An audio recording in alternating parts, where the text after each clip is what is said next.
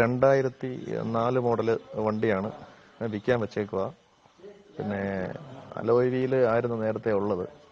അതിപ്പം വെഹിക്കിൾ പിടിക്കുന്ന കാരണം അലോയ് മാറ്റി സാധാ വീലാക്കി.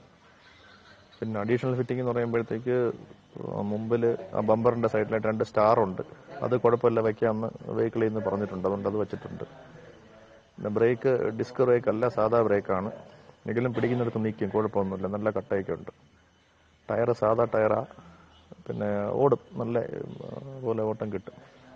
പിന്നെ സീറ്റ് സ്പ്രിങ് സീറ്റ് അല്ല കേട്ടോ. കാരണം അത് സാധാ സീറ്റാ.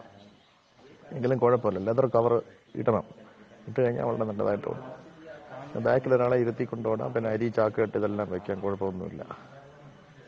പിന്നെ മൈലേജിന്റെ കാര്യം പറയുമ്പം നല്ല ചെറുപയറും കഞ്ഞിയൊക്കെ കഴിച്ചിട്ട് ചവിട്ടുന്നവരാണെങ്കിൽ ചപ്പാത്തി ഇതൊക്കെ തിന്ന് ചവിട്ടുന്നവരാണെങ്കിൽ ഒരു മുപ്പത്തഞ്ച് നാൽപ്പത് കിലോമീറ്റർ കിട്ടും.